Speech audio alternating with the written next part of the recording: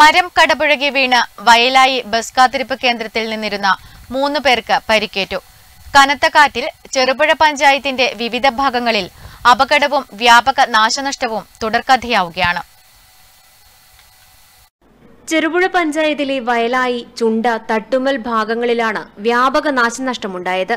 ശക്തമായ കാറ്റിൽ വയലായി കാത്തിരിപ്പു കേന്ദ്രത്തിൽ കയറി നിന്ന ഇരുചക്ര വാഹന യാത്രക്കാരടക്കം മൂന്നു പേർക്കാണ് മരം വീണ് പരിക്കേറ്റത്. വീട് രണ്ട് ഇരുചക്ര വാഹനങ്ങൾ എന്നിവയുടെ മുകളിലേക്കും മരം വീണ് നാശനഷ്ടമുണ്ടായി. ഇതിനു പുറമെ വ്യാപക കൃഷിനാശവും ഉണ്ടായി. ചെരുവിൽ കുര്യന്റെ വീടിനു മുകളിൽ തെങ്ങൊടിഞ്ഞു വീണു. Cherupuzha K S E B ജീവനക്കാരായ രാജീവന്റെ കാറിനു മുകളിലും മരം വീണ് കേടുപാടുകൾ സംഭവിച്ചു. തെങ്ങ് കമുക് വാഴ തേക്ക് പ്ലാവ് തുടങ്ങിയ കൃഷികൾക്കും വ്യാപക നാശനഷ്ടമാണ് ഉണ്ടായത്. നൂറമ്മാക്കൽ ബേബി പുള്ളോലിൽ കുര്യൻ പെരുമ്പറ ജോയി ചെരുവിൽ കുര്യൻ മുണ്ടമറ്റം ജോസ് കുടിയിൽ കൃഷ്ണൻ കോട്ടയ്ക്കകത്ത് രമ എന്നിവരുടെ കൃഷികൾക്കാണ് നഷ്ടമുണ്ടായത്. Network news Cherupuzha.